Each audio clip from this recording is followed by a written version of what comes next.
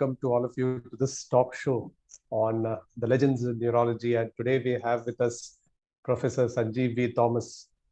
Uh, Professor Thomas is actually now the director of uh, the Institute for Cognition and Communicative Disorders and was formerly the head of department of the Sri Chitra Tirunal of uh, Sri Chitra Tirunal Institute for Medical Sciences and Technology. He was the head of department of neurology and was in charge of the R. Madhavan Nair Center for Comprehensive Epilepsy Care. So retired as the chairperson of the department in August 2021 and has continued to remain active in both academics and clinical research, now as the director of uh, ICONS, which is an institute which is located in uh, Trivandrum and Palakkad in Kerala. Uh, a very warm welcome to you, sir. And uh, I'm sure you would probably not prefer being referred to as a legend of neurology because knowing you personally, I know that sir is a man of not only supreme but also subtle confidence, uh, but was also someone who inspires humility just based upon your interactions with him. So I'm not too sure whether sir would prefer the use of this word legends, but sir, a very warm welcome to you. And uh, definitely we would have preferred to have this as a chai pe charcha kind of an environment rather than a virtual environment. But I think uh, probably the most important reason why this particular talk show is being conducted is because you know very well that as a leader you tend you tend to inspire people and if you can inspire a person to uh, dream more to do more learn more and become more as uh, quoted by uh, the, one of the former presidents of uh, the United States, John Quincy Adams. I think this would aptly sum up what Professor Sanjeev Thomas is to the neurology uh, diaspora of the country as well as abroad. And uh, on this note, I would like to welcome you, sir. And um, you know, to start off with this uh, talk show straight away, I would like to pose a very difficult question to you. Now, this question was posed to me by one of uh, uh, the very eminent neurologists uh, in a, an international meeting when I just introduced myself to him. I would not take his name, but I found that question extremely difficult to answer, and I thought I'd uh, probably just put it across to you because it would probably give us a perspective on how your journey began into clinical medicine and neurology. So, in simple terms, why did you prefer to become a doctor, and why clinical neurology is what we would like to know first of all. Uh, thank you, Ram, for the kind words and uh, of introduction. And uh, at the outset, I must uh, place on record uh, my sincere thanks to the Indian Academy of Neurology, particularly the president of uh, Dr. Nirmal Surya for initiating this new program of meeting people who have been uh, in and around for quite some time uh, as uh, the so-called legends. As Ram was mentioning, I really was quite puzzled as to how far that term will be appropriate for it. The merit that I see is that I had been in and around for quite some time. And uh, I had the privilege and opportunity to to work with a large number of uh, eminent people in India in, who are working in neurology, who have been uh, who have made great names, and also who have contributed substantially to the progress of neurology in this country. So these are my credentials, I would say, to participate in this program. And uh, I also, as you are mentioning, I was also thinking that this may be an opportunity to look back on uh, how I ended up in what I am and uh, see how uh, different uh, factors dynamically affect us and ultimately we become what we are. Yeah. And many times uh, we may not be able to capture the the true factors as in statistical analysis all that may be significant may be not causally related but maybe only an association so that possibility is also there right uh, your uh, first question is uh, as you said is really a tough question why did i become a doctor and uh, what uh, made me become a neurologist is uh, um, I didn't expect this question, so I have to really think back. I would say that you know, as a child, as any child, you know, we always read books and we read a book about you know people who have made lot of uh, contributions and uh, things. One of the persons who had uh, influenced me as a child was Albert Schweitzer, who was a, a medical professional working in uh, Africa at that time and uh, had uh, helped in the healthcare of that people. And eventually he was given Nobel Prize. And uh, when I read his book, what surprised me was that he had uh, some four or five PhDs before he decided to do his uh, medicine. And uh, when he decided to go to Africa, he decided to do the medicine and then uh, go there. A very accomplished uh, musician, scientist, and otherwise, he had uh, no hesitation in uh, venturing into a new area if he has a will to do certain work. Probably this is one of the biographies which had uh, influence to me as a small child and uh, maybe kindled the dream of becoming a, doctor. And uh, that may be one of the factors. And uh, of course, the doctors, other uh, there are many other uh, factors which attract us towards this career, which is a noble profession and uh, opportunity to work in a different way. So there may be, but this may be one of the main factors. As for uh, neurology, um, well, I, I do not know how I really got interested. Uh, when I was doing my MD in medicine, I don't think I was uh, overwhelmingly interested in uh, neurology. Uh, I, as any graduate in, from Kerala Medical, uh, Kerala State, we always dream of joining a medical college. At that time, only government medical colleges were there, Okay. and uh, so we were uh, we have to write the public service uh, uh, commission examination, PSC examinations, and then uh, get into the rank list, and after that get selected for appointment. So I had uh, written almost, uh, uh, you know, respiratory medicine, infectious disease, then um, uh, neurology, cardiology, uh, many of those uh, subjects which are applicable for a general medicine candidate. And um, I don't think I, I, was not successful in getting a a selection in neurology or cardiology, but I got selected in infectious disease. That was another uh, thing. I later worked also in infectious disease for a short while, uh, but that is after I took my DL.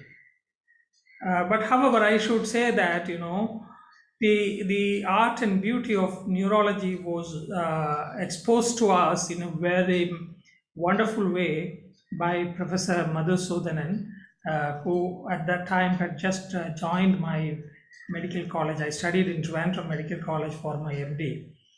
And uh, as most people know, that Professor Madhusudanan is one of the best uh, neurology teachers in this country, or even if you take it on an international level. His extraordinary skills in uh, taking history, analyzing it, and uh, making localizations had uh, amazed us as uh, young medical graduates.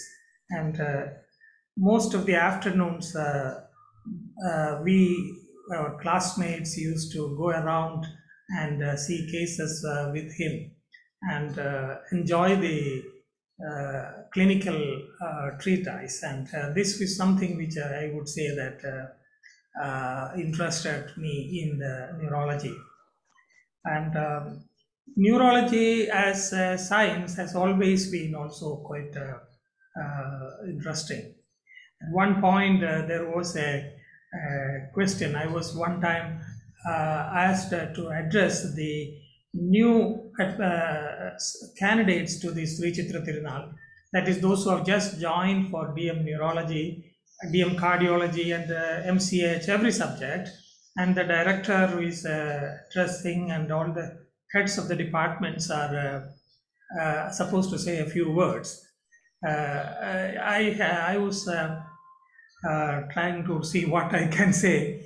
Then I thought that, you know, I will say, what is the most uh, important part of a stethoscope? And uh, so when I asked this question to everybody, you know, I, of course, this is a cunning question. Uh, so I didn't expect everybody else to answer that. So maybe the chest piece, maybe the earpiece, the tubings, various things. But I said that, you know, what lies between the two earpiece is the most uh, important part of the stethoscope. So that is our brain. So I think our brain is the most important part in any clinical field. Incidentally, uh, I, uh, when I joined, I was a medical student in uh, uh, Trivandrum Alleppey Medical College where I did my MBBS. Uh, I joined the third year, that is when we start going to the clinics. Now it's a very exciting time. We wear the stethoscope and move around. One uh, day I came back from the hospital and I was uh, sitting in the, uh, the, the mess hall, as we used to call. One of the mess boys came to me and told me, uh, Sir, you should not wear this stethoscope. Uh, why? I said, Why? Because this tube is transparent and uh, it shows that uh, there is nothing in it. We are uh, thinking that you know this tube contains a lot of sophisticated instruments which uh, uh, decipher all the secrets of the illness to the patient. So don't wear this one. So stethoscope, uh, I have two memories. One of these two memories. So doctors have every doctor has an important role to play, and uh, that way everybody has an important Oh. however uh, neurology is a fascinating subject and uh, it is uh, something which uh, is just opening up in future we will have a long uh, uh, maybe it is going to be more exciting to see what is going to come True. Anybody who actually goes through the text of your presidential oration, which you delivered as an I- as the IAN president at Raipur, uh, would be aware of your thoughts into how clinical practice is evolving in our country, uh, neurology practice at the crossroads, if I can remember. So, uh, I mean, I, I- mean, the audience is quite sure from this opening remarks from Sanjeev sir that you know he's a picture of sublime confidence and humility at each and every step. So, uh, I mean, we all are waiting to be inspired by Sir and what his experience has been and what his vision is for the future. But, Sir, uh, we just wanted to know from you. I mean, in your journey, you talked about Professor Madhusudanan. Who are the other inspirational figures uh, in your journey into not only clinical neurology but also epilepsy? We know that you have traveled across the world, gained fellowships, and if you want to put all those inspirational figures in a nutshell, whom would you really like to you know bring out at the moment The person who introduced me to epilepsy is uh, my mentor, Professor P.K. Mohan, who was my head of the department at that time. And uh, he, he was a man of uh, few words. And uh, I must say that, you know, when I joined uh, DM Neurology, uh, he was a very tough person to handle with. He will not speak much, but he will be asking very probing questions which are uh, really difficult to answer unless we go and read quite uh, uh, extensively on the subject. And uh, he always expected us to take that extra mile and uh, go into greater depth of uh, the subject and analyze it. His symptom analysis and his ability to dissect out the clinical nuances was extraordinary. It was always very difficult to uh, uh, convince him on any point uh, which we try to say. Uh, as a young uh, recruit, after passing out, you know, I was, uh, as I was earlier mentioning, as I passed out, I was uh, posted in the infectious disease department of the neurology, uh, Trivandrum Medical College, where I worked as a lecturer in uh, infectious disease for one year. And at that time, uh, fortunately, I had some opportunity to teach neurology to a lot of students. Uh, some of them are now faculty in different places. And uh, when I came back, in between an opening come came up in Trivandrum Sri Chitra Institute, and I applied for it, and I was uh, selected as one of the uh, faculty. And I had some uh, before joining, I had some uh, meetings with sir about what he expects and all those things. But leaving that apart, uh, after joining, I wanted to do some small research and some analysis of papers and all those things. Any type of analysis, any type of study I put across to Dr. Mohan, he will, oh, that is not, uh, that will not be there. Some problems he will find out. Finally, I was so frustrated. I had to tell him, sir, some Nobel Prize winning thesis or topics only will excite you. I can't think of those kind of things. I will try to do some small things and then. So he was in other ways, you know, trying to uh, help us to think in greater depth, understand the limitations of what I am trying to do or what I to do. Actually, he was it was a good exercise. Other if if, if that kind of a uh, cross-checking was not there, I don't think I would have uh, planned for uh, more advanced ways of uh, studying things. And uh, so that is how uh, Dr. Mohan had uh, influenced me.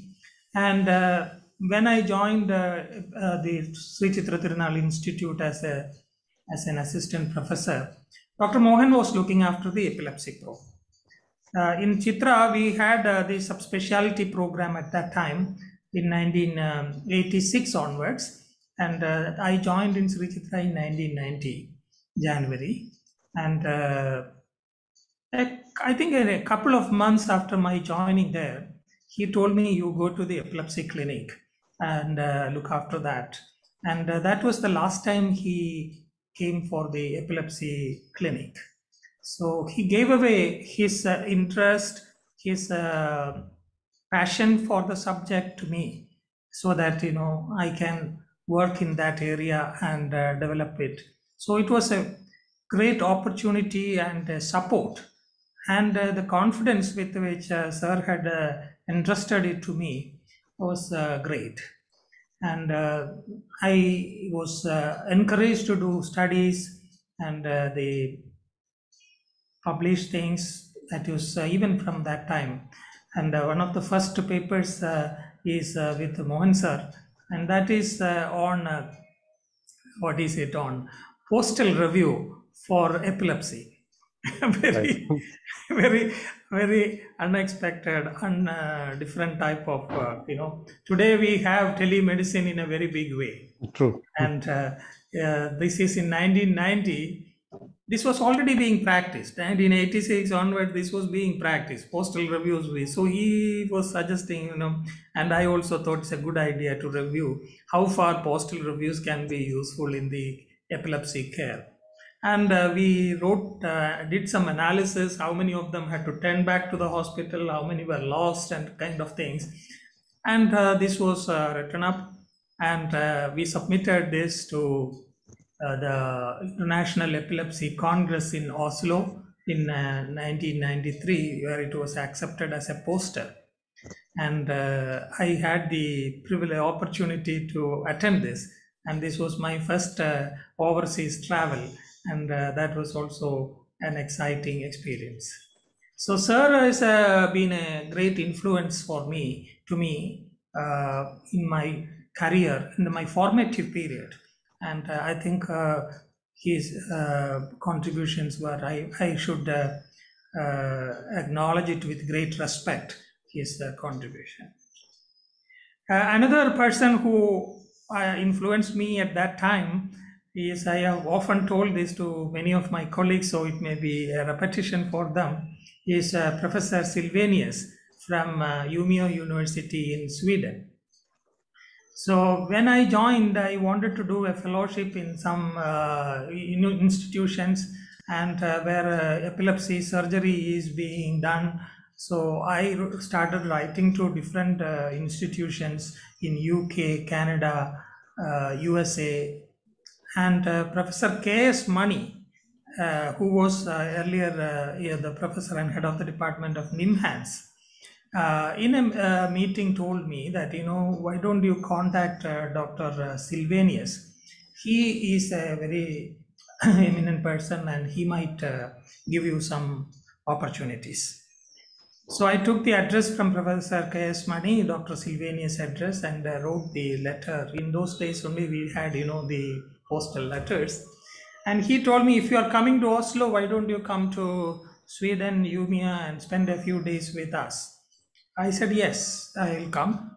And uh, I did not know who he is, so but I took the ticket and all those things, and uh, I went to the conference and uh, attended a session which uh, he was chairing. So that you know, after the session is over, I went and met him and said, "I am Sanjeev Thomas." And uh, okay, said you, I am going back today. After the conference is over, you come over to Umeå, and uh, then we will meet. So I went there. It was a train trip from Oslo to Stockholm, and from there to Umeå by flight. And Umeå is uh, at the border with the Arctic zone, so it has a lot of peculiarities in that place. Incidentally, the aircrafts uh, that land there stand on a hot plate like thing, so that the ground doesn't freeze and the Okay. aircrafts don't uh, get stuck there. So completely a different, a lot of uh, interesting experiences in Umeå. Anyway, Professor Silfvenius had come to the airport, picked me up, and he put me up in his house for one week, five days or six days. Now, looking back, you know, for a Westerner to accommodate a, a person from outside in their own house is something uh, unimaginable. Nobody does that. So he has really come out of the way to help me from a faraway country, and uh, he took me around the hospital and uh, showed showed the epilepsy programs which they are doing surgery and a few days, and then I came back to India. And uh, when before I left, uh, he promised that you know he can uh, take me as a fellow in uh, epilepsy in the next year. So that is how. Uh. And I also had uh, in the simultaneously an invitation or agreement to do the fellowship uh, in uh, uh, NIH in uh, uh, Bethesda, USA. So that's also a very premier institution, and I didn't want to miss the opportunity. So I split the fellowship between these two institutions, half at uh, uh, NIH and uh, half at uh, um, Umeå, and uh, we did. it. The experience in uh, NIH is quite uh, different from the experience in uh, in, uh, in Umeå. Uh, you know, clinical center (CC) is a 10 or 12 storied building that is just uh, over one of the metro stations and uh, you travel on the metro get into that there are so many rooms and you are assigned to a small cubicle uh, where with a chair and a bench and uh, you do your work and uh, it is amazing to see that you know uh, the next room may be or another room may be a nobel laureate uh, there were at that time at least three or four Nobel laureates uh, working in NIH, whom we used to meet in different occasions. Professor Mark Hallett was the head of the clinical neurology side at that time, and Bill Theodore uh, was the head of clinical epileptology. And uh, I had a lot of exposure to uh, telemed uh, EEG at that time, at the way they called it. Uh, nowadays, we call it video EEG. And uh, that was my first exposure to all those uh, sophisticated things and uh, are testing done by you know the top persons in this uh, all the papers written by them. It was a great experience. So that is uh, i should also say you know how the ambience influences you. I think this is something which uh, we in india miss a lot. When we go there uh, they expect you to have no hassles in your work. They will provide every facility for us to work at the same time it is expected that you know we do our work extremely well and uh, come out with very good uh, results. So you cannot say that you know i did not have that or i did not have this and uh, this person didn't come for today's this thing. These are all uh, to be sorted out at our level and the work has to be done or your whatever target you have placed has to be finished. So a lot of pressure to complete the work and uh, do that. Uh, that is uh, the way the american system works. People don't uh, uh, you can see them running around with coffee mug and doing all sorts of things simultaneously. You go to uh, sweden everybody is relaxed no hurry take your time. What is that and very relaxed environment. So these are different environments Yeah. i think i have talked too much about all those uh, No, no, things no, it's it's it's very useful to know because you know it very often happens that uh, young neurologists who visit these foreign universities, uh, either on an academic or a research fellowship or a clinical fellowship for that matter, they tend to get overwhelmed by the uh, by the very presence of these giants, and uh, you know it's perhaps having that self confidence and instilling those abilities in your uh, uh, fellows as well as your juniors is what would actually pave the way to increase these kind of interactions and enable them to make the best of these kind of interactions as well. So thank you, sir, for those inputs. Uh, now, with regard to clinical neurology, it, it's a question which was there because with regard to epilepsy itself, I have personally seen that your interests have been quite diverse with regard to societal aspects of epilepsy, uh, pseudo epilepsy surgery. But what actually piqued your interest in uh, women with epilepsy, especially when it came to understanding about uh, preconceptional counseling as well as uh, postnatal management and looking at fetal outcomes in women with epilepsy? What exactly piqued your interest in this area? Yeah, that is a very good question. Uh, what uh, had actually uh, driven me to this topic is the consecutive, uh, a few cases of uh, congenital malformations in uh, women who had who with epilepsy. It is not uh, that every day, that same day they came. Uh, they came uh, maybe two three weeks or one month apart two or three people had come women had come to the clinic and one lady particularly from ambalappuzha i remember she had a lot of questions about uh, you know why this is happening and what way this can be prevented and uh, what steps uh, st- uh, what should you do and all those things which i honestly speaking i did not have much answer. I didn't know how to answer all those uh, questions. Uh, we give the standard uh, responses uh, which are not uh, very convincing and uh, probably not to the best answers but actually that helped me to think okay this is an area where uh, we need to have some clear clarity and uh, how to go about it. And uh, this is how uh, thought of uh, uh, doing more work in the area of women with epilepsy and epilepsy and pregnancy in particular.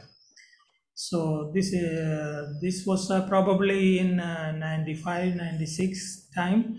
And um, then we started uh, working and the kerala registry of epilepsy and pregnancy was started in 1998 uh, i think uh, just before that there was an international meeting epilepsy congress in which uh, we had uh, presented some data so we had some opportunity to interact with uh, those who are working in the same field from abroad.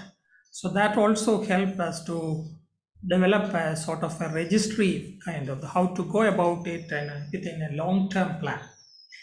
Uh, I would say that you know more than my research planning, it was just it so happened that you know we decided to do a very long-term follow-up rather than just uh, maintaining only a short-term follow-up, which was very useful to us as you now realize. Uh, we have one of the longest uh, follow-up of uh, children who are exposed to anti-epileptic uh, drugs, and uh, today I'm happy to say that you know one of our papers on the long-term outcome of children that is up to 21 years of age has been accepted for publication. It was I got the message yesterday uh, for uh, from the Seizure Journal. So it may be in a couple of months it will come. So we have now follow up of some of the children as old as 21 years of age, and uh, that kind of a long term follow up over 15 years, 20 years. At the moment, no series is available anywhere else in the world. True. So that way, you know, we had a very commanding uh, position in our uh, research. Not because of uh, extraordinary equipments or extraordinary facilities, but it was a foresight to follow up all these children. Uh, and the ambience in uh, Kerala is also favorable. Most patients will fall, come for follow up. If they don't come, we can contact them and uh, encourage them to come. So the, uh, the loss to follow up uh, is very low. So we, whereas I think uh, most of my colleagues who are working in other states in India say that it, it becomes much more difficult to maintain long-term contact with uh, uh, patients and their family. But in Kerala, although there are hurdles, uh, it is still uh, possible. And uh, you also know from the your uh, memory clinic and behavioral neurology clinic uh, that you know long-term follow-up. You are having a very uh, very large cohort which is being followed up for how many years now? Ten years? Fifteen yeah, years? 11 years now. 11 years more than 10 years so that kind of follow up is uh, i don't think any any other group in india have that kind of a follow up so we must uh, look at uh, opportunities uh, to fully capitalize on our advantages and uh, do very long term follow. Ram and his team and uh, his predecessors have done an extraordinary work in this area. And uh, this their contributions are respected and quoted across the world. And I'm very happy that you know I could associate with all of them at some point of time. Yeah, the Kerala Registry for Epilepsy in Pregnancy has actually set a benchmark with regard to any national or international registry. And uh, I understand that the work from the KREP has been quoted in many publications, and this one of the most uh, cited publications are from Sanjeev sir's uh, work.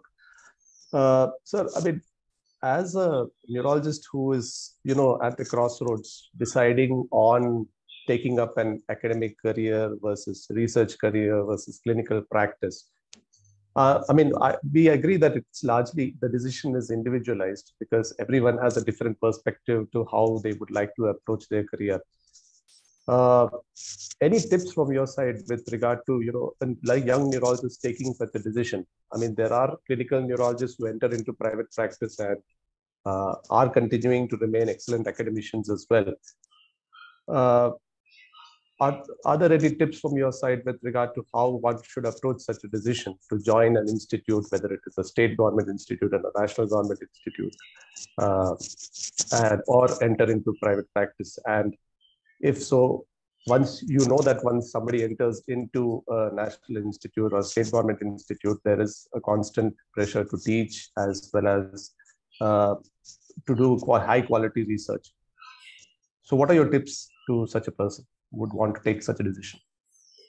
You know, when I passed my MD medicine, uh, I joined a private hospital, a small uh, hospital uh, around uh, 200 kilometers uh, north of uh, Trivandrum. It is on one of the hilly areas, Kanjirapalli. It's a very old hospital. I was the only physician, there was surgeon, gynecologist. So I spent an year working there. So as a generalist, what I do, and then this is not an academic institution, just a private hospital. And uh, I had some uh, flavor of uh, what I can do in that uh, atmosphere. I enjoyed very much uh, the work, but uh, I thought that, you know, this is something not exactly I would like to do. Uh, later, I was mentioning uh, that you know before joining Sri Chitra, I worked in uh, Trivandrum Medical College as a lecturer. Um, so the scope of uh, a, lecturer's post in uh, Trivandrum Medical College, any medical college in the Kerala state, combines the opportunity to do fairly good private practice and uh, practice And if you want, you can uh, maintain an academic uh, um, uh, outcome. Uh, however, uh, the environment is not very conducive for uh, detailed research because the emphasis is more on uh, delivery of care. So the large number of patients they attend, they have to be taken care of. There's no control on the number of uh, patients, inpatients, outpatients, your uh, duties, all those things. You are primarily looking after uh, patients and if you have some spare time or if you are extraordinary interest, go and do some research.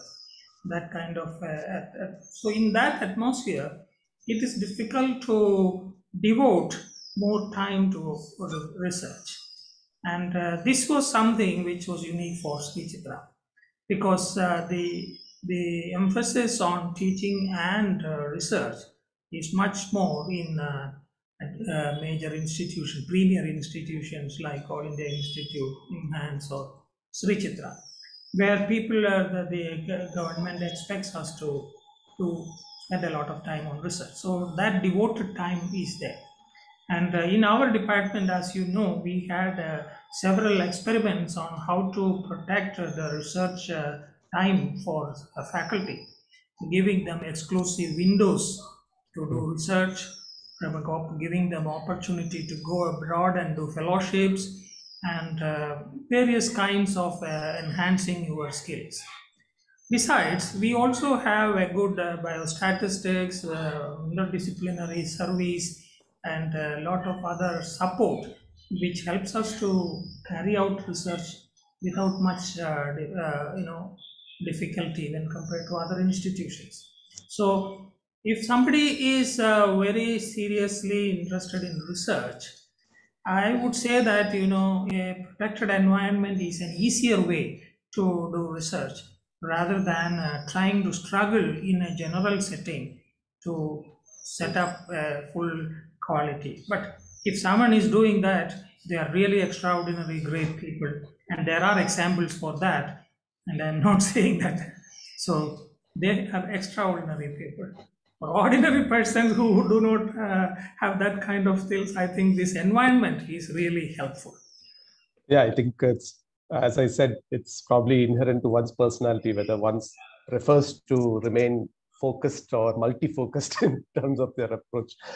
Uh, but I, I mean, uh, one thing that's admirable, which, I mean, uh, given your career, is the fact that you have always remained, uh, you know, the national and international voice for epilepsy care in India, among others. And uh, I think your uh, achievements in terms of being awarded the Ambassador of Epilepsy Award at the International League Against Epilepsy, uh, and your various uh, leadership positions in Indian Epilepsy Association and Indian Epilepsy Society, they are a testimony to this fact. Now, uh, how important is it for a neurologist to really go in for uh, this kind of an approach, you know, holding administrative positions in various national bodies, uh, guiding their juniors? How how focused does one need to be early on in his career to really going along or does it happen naturally? I mean uh, obviously once you're doing good quality work you are recognized and you're called for and you're asked to join these bodies. But how important is it to be a voice for uh, in your case let us say epilepsy care in india and across the world as you have been i think this is a very very important matter and uh, in general you know our uh, approach had been that we will listen to the Westerners, what they have done, what they have experienced, and uh, uh, we will be the listeners and they will be the speakers. That I think is not right.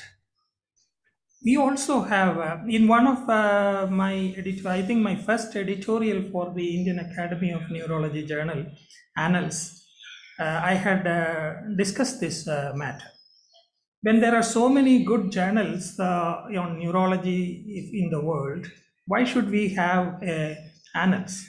Annals was at that time dying, and uh, hardly it was coming out for more than a year. It was closed, and uh, so that is the, the, situation when which I was asked to take over. So when I look at it, you know, I, and this is I think this is valuable for everyone, and uh, we have the largest population or nearly second largest population uh, in the world in our country. Any neurologist in India would have seen 10 times the same condition that sir. any anybody else. Be it a stroke or epilepsy or infectious disease demyelinating disease anything. Because of the sheer crowd any neurologist would have seen don't we have anything to tell others about our uh, data? I think we have much more. So we definitely need a platform on which can present our data, present our experience, and talk to the world.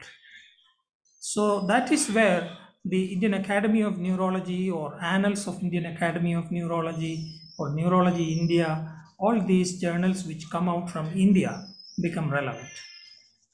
What we need to be uh, uh, taking care of is that we should not compromise on standards it is very easy for others to point out that you know you have that lacuna you have not take control for that you have not control for this you know these kind of uh, things you know that is where we become diffident and we lose our confidence and uh, we feel that you know our data will never be accepted our uh, Quite true. yeah and uh, this has to be fought we have to uh, say that you know we have a uh, different experience and uh, we should not hesitate from saying that we have a, a different experience. Just now i will give you an example. I was telling that our paper on uh, uh, 21 year outcome of children had been accepted.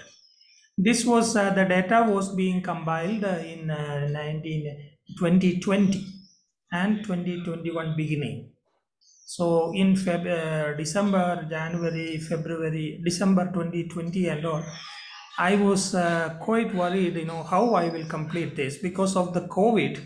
You know, no patient will be coming to the hospital. No, we cannot invite anybody to come to the hospital. They, uh, it was all shut down. So my uh, uh, my dream of publishing the uh, latest data became very difficult.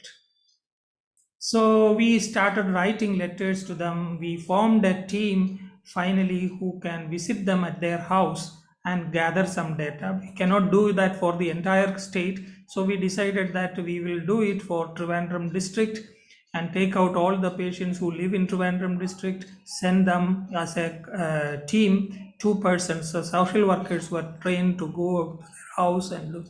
So we collected data Nevertheless, the total uh, follow up was only around 45% of the cohort that was born 21 years back. So 40 55% of the patients who had uh, were born in 21 years back could be followed up. Half of them could be followed up, other half could not be followed up. Then we said that you know because of the COVID we could not uh, and our uh, protocol had to be changed because the neuropsychological tests which had to be done at a hospital could not be done because they are going home. And uh, these people are not trained to do those things. So some of the tests had to be abandoned. So protocol had to be modified. So this all we wrote then said that you know because of covid we had to change the protocol and uh, data is truncated in many patients and uh, data is uh, different format home uh, based data. But of course, there were a lot of uh, difficulties uh, in um, getting it uh, uh, approved. It underwent uh, two revisions and then only it got accepted.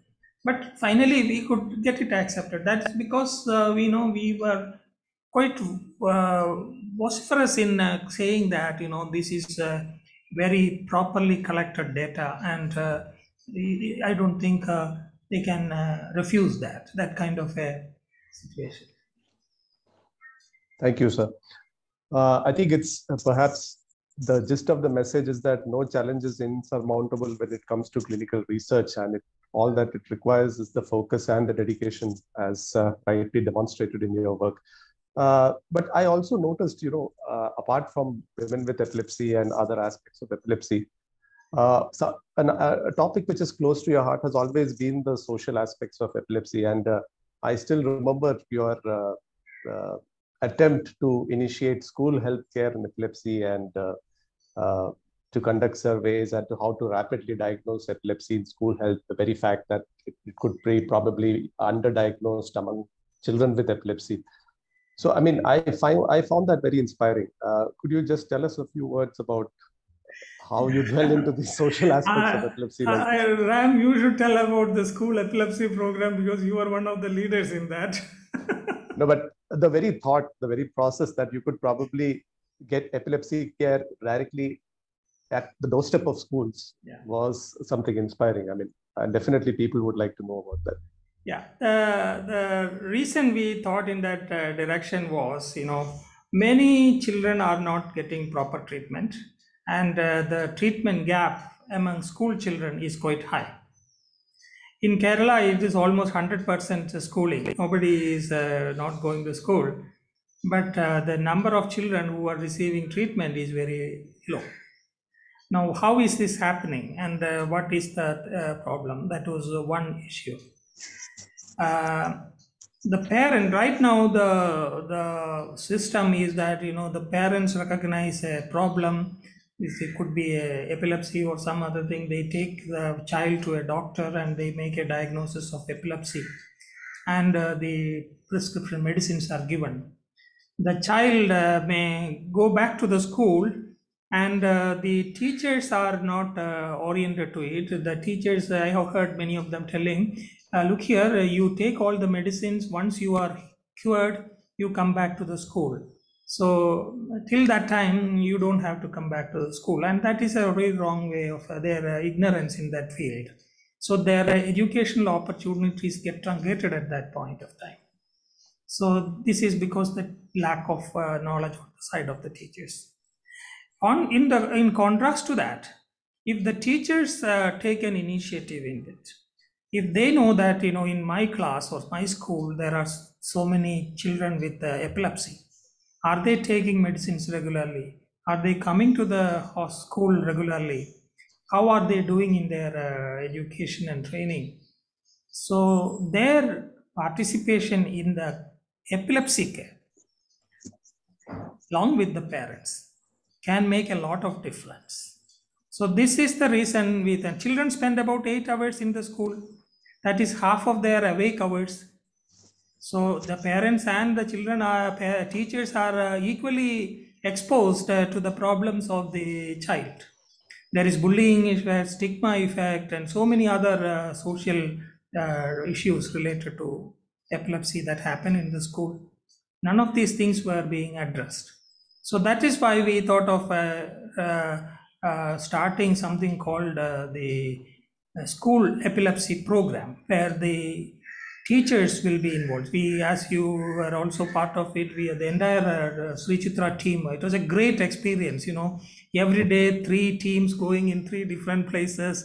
We we surveyed 50000 children from 27 schools. It's a big number not a small number. And that too i think in a one month period no? We did not take much Uh, time. one and a half months, yeah. one and a half month time. Every day was somebody one team will stay in hospital and two teams will be outside that's the way we worked. And i congrats and credit to all my colleagues in doing that great job. And uh, we could actually convince the government about uh, they wanted actually to escalate it at a much wider level but uh, then there were some issues related to funding and other thing. It could not be done. And i hope one day this will come through in kerala state as a school participation in the epilepsy care. There are school counselors now in schools they also are uh, social workers uh, who are uh, who are earlier focused only on uh, uh, you know some issues of uh, psychosocial issues of children. And they were also educated about the epilepsy related problems and how to tackle it. Yeah, I think taking neurology and epilepsy care to the grassroots has been a vision of yours, and I found that an extremely novel enterprise to really take up with regard to you know expanding comprehensive epilepsy care at a more holistic level. Uh, one of uh, one of my experiences when I joined also was the very fact that you asked us to deliver uh, sessions and teaching classes to interns, and the very fact that you know you could uh, you wanted to improve uh, the understanding of epilepsy among in, uh, interns and potential general physicians. Uh, that that was a very inspiring thing as well. So, uh, Yeah. any thoughts about that? I mean, Yeah. We did that for a few years uh, for MBBS students uh, from different colleges. A one-day teaching program on uh, Yeah. semiology, classification, treatment, the differential diagnosis. Uh, this was all done by you and Ajit and uh, Asha and uh, all other who were at that time present. And uh, it was a great uh, experience. Three Yeah. years or four years. I think three years we. I think three years we did Three this. years. yeah. But again, as I said, the idea was completely unique and unheard of at that time. I mean, I'm not too sure whether any other center would have undertaken such a venture at that time. Maybe that was a pre-runner for our epilepsy school. Possibly, possibly. But I mean, that was more focused towards neurologists and electrophysiologists. Yeah. This was like at the grassroots level. So I, Yeah. I found that an extremely novel experience. W- one of the other uh, aspects was, you know, I mean, when, when it came to your presidential oration itself, uh, where you talked about neurology practice at the crossroads, people were expecting that you would be talking more about your experience in setting up a registry, women with epilepsy, but uh, this uh, turned out to be a very different experience altogether. I know that you're extremely well read. You read uh, much more beyond neurology textbooks. You do you do read a lot of fiction as well as non-fiction. Any books of which have proved to be inspirational for you? Uh, you were talking about uh, CRISPR as well as gene editing, and I think that topic was uh, an important uh, uh, you know area which really sort of piqued your interest with regard to clinical genetics.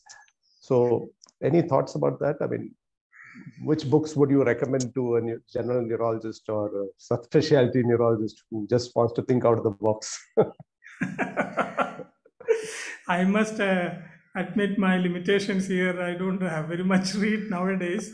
Um, books which are uh, of substance, which might influence us in our uh, thinking and other thing. I think uh, one of the, I think it's a very essential thing. Uh, but uh, reading uh, newspaper Hindu is a general source that you know it gives a lot of scientific input and different philosophies and i enjoy reading the newspaper hindu and the weekly issues editions of that. And many of some of the thoughts at least uh, i have from that. Um, that is one thing. Uh, about uh, um, CRISPR and new things, you know, I think uh, um, for quite some time, neurology had been quite um, introspective, looking inside only. They are not looking outside. Into there are so many exciting things within the neurology, neurons and the other things, but we probably uh, were so excited about all those things that you know we were uh, not uh, keeping ourselves abreast with uh, what is happening elsewhere. Um, I was a mm, professor, visiting professor in uh, Columbus, uh, Ohio State University, uh, for a as a Fulbright fellow pro- professor. You know that gave me an opportunity to visit many institutions in the U.S. and give lectures uh, if you are a Fulbright professor in US, you know you get uh, invitations from universities to come and give a lecture. Sure. So that was a sort of a passport for me to visit uh, several, I think Columbia University or uh, Long New York uh, Hospital, Mayo Clinic, and so many places. And uh, one of my um experience was that you know I was attending a research meeting in, uh, the, this happened in Columbus only uh, on Charcot Marie tooth disease. This I am talking about 2020, 2010, 2010. Uh, they had an experimental model for Charcot Marie tooth in which they were giving this uh, genetic therapy and uh, the conduction velocities improved, the myelination improved, the power improved in these rat models. So I never heard, I had never heard of such a things. You know, I couldn't imagine that you know a condition like Charcot Marie tooth will be reversed with uh, treatment. And this is what they are talking about, and this is what they are going to translate into clinical research. Now, today we know that you know, 10 years down the lane, uh, you know, so many genetic disorders, SMA has come up with the treatment. So many conditions are on the verge of getting a, a genetic therapy, which will overcome the barriers or the biochemical metabolic uh, derangement and uh, make us uh, better. And uh, one such experience was actually one case of Pompe's disease, which we had uh, in uh, treated several years back in uh, Chitra. This I'll take a long story because it is so vivid in my mind. This child was brought to me in the OPD for difficulty in getting up from uh, squatting.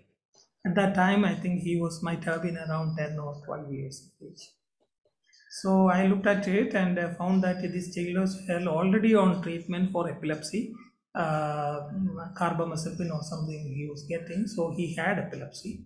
But much more than he had a cardiac problem, he had a rheumatic heart disease with a aortic uh, valve involvement.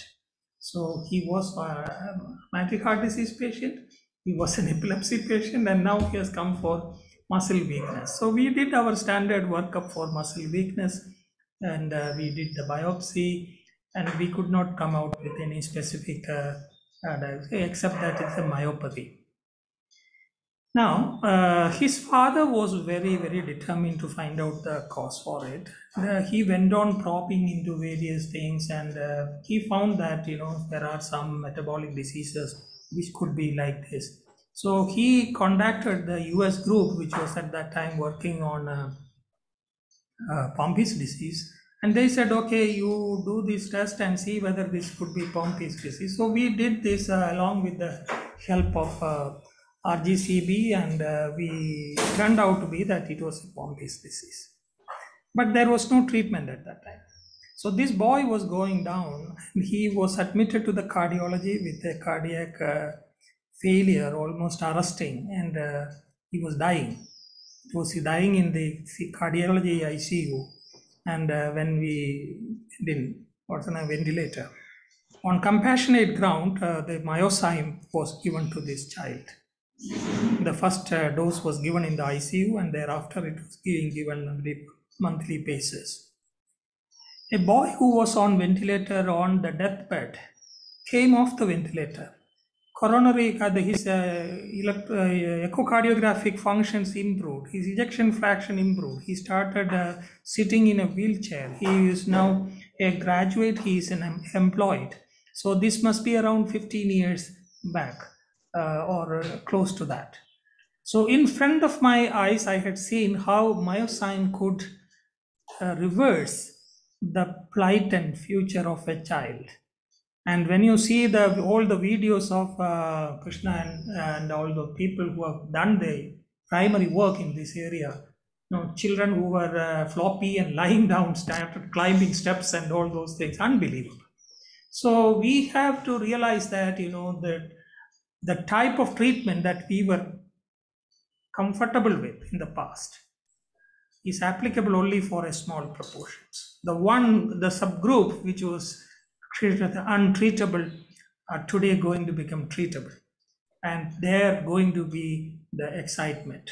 So we need to really look at that that aspect, and we for that we need to have a good understanding of genetics and metabolic diseases and all those things. Our training need to include all those things so that you know we will be able to handle all those complicated areas. Thank you, sir. I, think we are uh, running short of time, but just on a lighter note, uh, having done all this, having achieved so much, can you just tell us a few words about your work-life balance and your hobbies? And how has it been? You have a wonderful family. I know Susan Madam. I know you have two wonderful children, uh, sons, and you're now a grandfather. So, how has work-life balance been over the, let's say, 30 years in Sri Chitra? Well, it is just uh, whether it is something worth uh, copying, I do not know. um, I used to spend a lot of time in the hospital. If I come at eight o'clock in the morning, uh, usually it is six six thirty. By the time I go seven, close to seven, that is, uh, we had enough time in the hospital to do our work. uh, once I go home, uh, you know, there is uh, nowadays uh, my children are away, and myself and my wife are only here now. So before that, you know, there was the home chorus. We have to go and do the routines for the house. All those things are there. I don't know whether I did any justice properly to my children and uh, spent enough time with them. Uh, but it was okay. I think they grew up well and uh, they are now in an okay place. So, uh, my, the question uh, in a philosophical way, uh, I would say is that uh, how do we balance our uh, interest in uh, professional job, family matters, and other personal interests and passions? I think that's very important. And uh, I have tried to separate out time for my family or my passions to some extent. My passions were uh, mostly reading or uh, doing a little bit of photography, which uh, I used to go out and uh, spend a few hours or days uh, whenever possible. So, keeping that time apart is important. Other side is that even on a daily basis, spending some time away from our uh, routine thinking, uh, at least a few, then half an hour or more than that, is very important. My wife maintains a very good garden in front of our house, so watching it and uh, she working in that is uh, another pleasure. And uh, looking at uh, how the plants grow and uh, flower and uh, they don't grow overnight. So i always tell you know it teaches patience to us. You can't expect that to flower to come next day. So you have to wait wait wait and then one day a beautiful flower will come out of it. You can enjoy that Thank you, sir. That was wonderful. And, uh, you know, I, I think from my perspective, your career has been a case study with regard to the fact that leadership and learning are indispensable to each other. You cannot separate those two out. And uh, I would like to thank you once again for uh, having taken time out from your schedule to uh, tell us about your life and uh, what words would be extremely inspirational to young neurologists, budding neurologists, residents are what you have actually brought out. And uh, I think the academy would be indebted to you for uh, the no, the uh, points that you have put out very eloquently. And in your typical confident as well as humble uh, demeanor, which has marked your career over the years. Thank you so much, and uh, over and out from our side.